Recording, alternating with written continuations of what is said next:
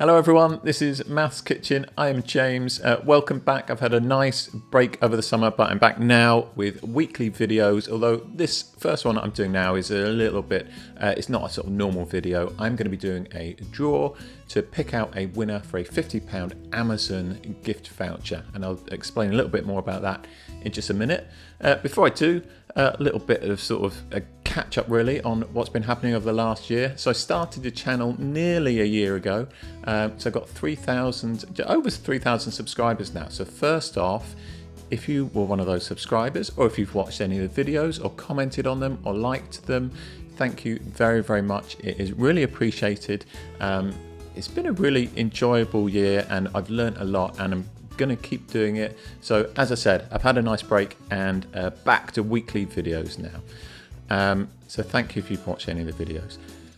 Earlier on this year, around Easter, we also launched a website, the Maths Kitchen revision website, which we hoped would help people get ready for their GCSEs. And we had, in a pretty short space of time, we had about 2,000 users on that as well.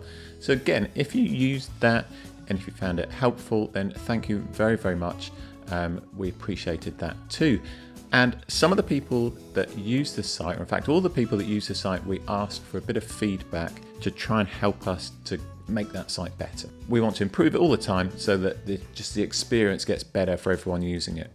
And lots of people did that. So thank you if you did that. And then we also asked people to give us a bit of feedback um, after they'd got their results. We were interested in how accurate our predictions were compared with the actual grades that people got. Because again, if we know that, we can just keep making the site better and better for people that are going to use it this year, next year, and so on. So, uh, some people did that, and I'm hugely appreciative for the people that did that. And those are the people who are going to be doing a draw for a £50 prize Amazon gift voucher for those people. So I've got all the names written down here in this bowl on bits of paper, um, and I'm going to pick one out now. And let's see who we got. It is Phoebe. Um, congratulations if your email address started with Phoebe.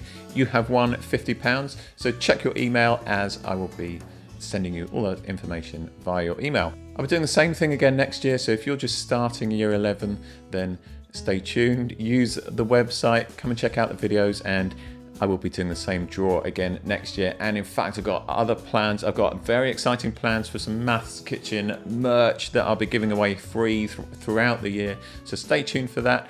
Um, I will be back weekly videos, as I said. So hopefully I will see you next week.